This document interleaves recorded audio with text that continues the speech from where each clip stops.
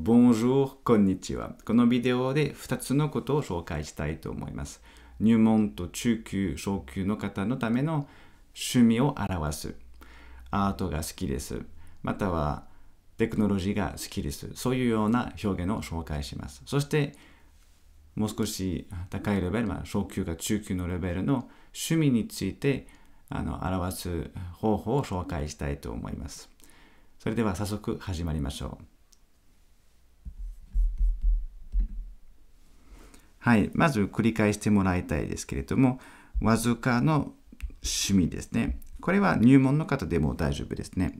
勉強した方がいいと思います。で、les centres d'intérêt。これは趣味ということですけれども、で、まず行きたいですね。l'art。アートですね。l'art。一つの単語、一つ、まあ、二つの単語だけど、一つの発音ですね。l'art。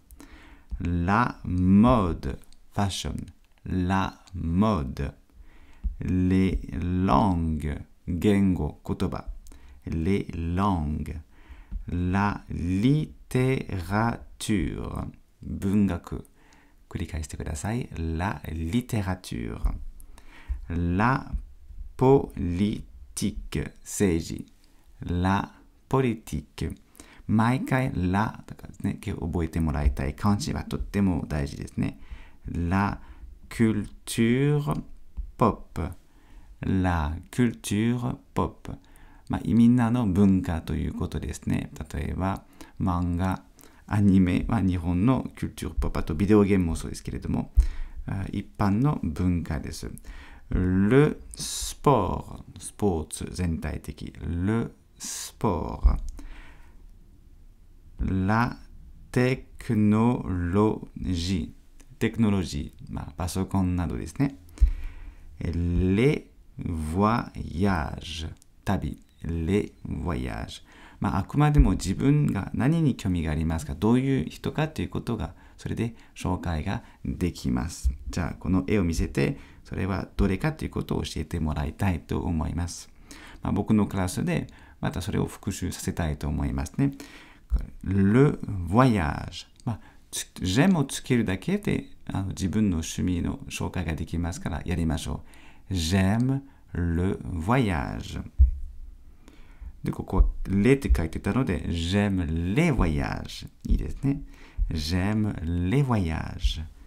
ジェム、la technologie。ジェム、la technologie。今回は写真を見ながら繰り返してください。単語だけではなくて、j'aime le sport。スポーツが好きです。j'aime les langues。言語を学ぶことが好きです。j'aime les langues。j'aime la littérature。文学が好きです。j'aime la littérature。j'aime l'art。 アートが好きです。j'aime l'art。j'aime la politique。政治が好きです。j'aime la politique。j'aime la culture pop。j'aime la culture pop。j'aime la mode。j'aime la mode。 これで趣味について少し話せるようになります。簡単な表現、j'aime。しかしもう少し難しいだけれども、とっても普通に使われている他の表現があります。それをこれから紹介したいと思います。もう少し難しいですので、入門の方は、まあ、頑張ってやってみてください。初級と中級はやってください。繰り返してください。それでは行きましょう。第2ですね。はい。まあ、これでクラスで練習しますけれども、じゃあ念のためにやりますね。Vous êtes intéressé par l'art? アートに興味ありますか？という簡単な質問ですね。Vous êtes intéressé par l'art? Vous êtes intéressé? 興味ありますか？Par l'art? で、どうして par が赤い字かって言いますと、それが忘れてはいけないですね。アートについて。vous êtes intéressé par l'art Oui, je suis intéressé par l'art. 少し長いけれども、僕の生徒さんにいつも言ってるのが、まずこれですね。Vous êtes intéressé par Vous êtes intéressé par って覚えた方がいいですね。これがパターンですよね。であとは We の答え。 Oui, je suis intéressé par. Oui, je suis intéressé par. これが言えないと、もちろん後言うのが難しいですね。だから何度も Oui, je suis intéressé par 困らない、スムーズに言えるようになってから練習した方がいいですね。ですからこのビデオを前もって生徒さんに紹介します。で、We のことができたときは No の場合の答えですね。Non, je ne suis pas intéressé par l'art. これも丸暗記を覚えてもらいたい。